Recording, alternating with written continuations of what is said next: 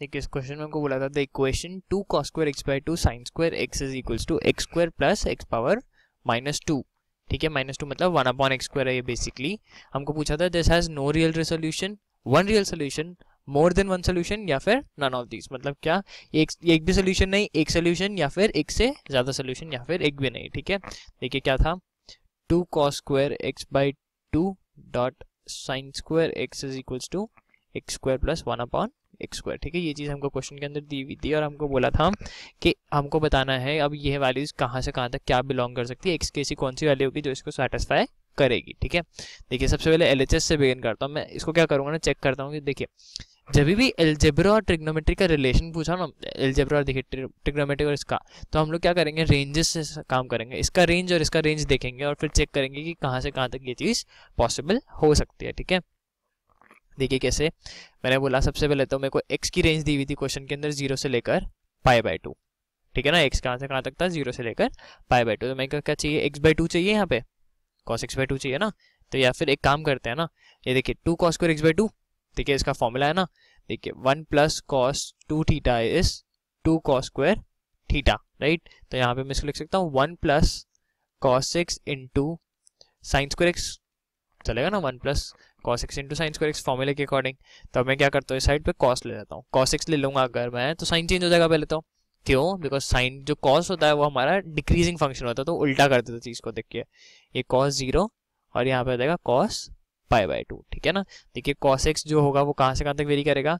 Greater than equal to zero cos pi by two की value zero और less than one ठीक है? अब चाहिए प्लस वन तो प्लस वन भी कर लेते हैं। तो ये कॉस एक्स और यहाँ पे आ जाएगा वन मतलब मेरी जो ये कॉसेक्स देखिए सॉरी वन प्लस कॉसेक्स तो मतलब वन प्लस कॉसेक्स जो है, मेरी उसकी वैल्यू वेरी कर रही है वन से लेकर टू तक बट टू नहीं हो सकती इसकी वैल्यू देखिए। वन से लेकर टू तक वेरी कर सकती है बट टू नहीं हो सकती। अब देखिए साइन एक्स की वैल्यू कहाँ से कहाँ तक वेरी करती है? माइनस वन टू वन ठीक है? तो बोल सकता हूँ साइन स्क्वायर एक्स की वैल्यू कहाँ से कहाँ तक वेरी करेगी? ज़ीरो टू वन क्यों? देखिए साइन स्क्वायर है स्क्वायर मतलब क्या? हमेशा ही पॉजिटिव होने वाला है और इसकी मिनिमम वैल्यू क्या होगी? ज़ीरो देखिए, इसकी मिनिमम वैल्यू ज़ीरो तो इसकी वैल्यू ज़ीरो टू वन अब मुझे क्या दिया हुआ था? एल के अंदर दोनों का मल्टीप्लीकेशन तो मैं जब दोनों को मल्टीप्लाई कर दूँगा तो क्या होगा? मैं बोल सकता हूँ one plus cos x into two into sorry sine square x that will vary from zero to two उसकी वैल्यू ज़ीरो से लेकर टू तक कुछ भी हो सकती है, कोई प्रॉब्लम नहीं है।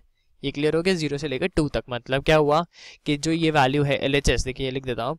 L H S varies from zero से लेकर टू तक। मतलब उसकी मैक्सिमम वैल्यू टी टू के थोड़ी नीचे हो सकती है, बस टू तो नहीं हो सकती बट उसकी एल एच एस की, ठीक है? अब आर एच एस देखते हैं। आर एच एस क्या था? X square plus one upon x square right अब देखिए, इसको मैं क्या लिख सकता हूँ? इसको लिख सकता हूँ मैं x minus one upon x का होल स्क्वायर प्लस टू ये मैंने क्या किया है यहाँ पे? देखिए a square plus b square is a minus b का whole square plus two a b ये हमारे पास है। फॉर्मूला होता है ए माइनस बी का whole square plus two a b तो देखिए ए माइनस बी का whole square plus two a b two a b a b हो जाएगा एक्स और एक्स कैंसिल हो जाएगा तो हो जाएगा वन ठीक है? इस तरीके से हुआ। आप देखिए, मैंने यहाँ पे बोला x minus one upon x का होल स्क्वायर जो है, वो कहाँ से कहाँ तक वेरी करेगा? ज़ीरो से लेकर इन्फिनिटी उसकी जो वैल्यू है वो ज़ीरो से लेकर इन्फिनिटी तक वेरी कर सकती है।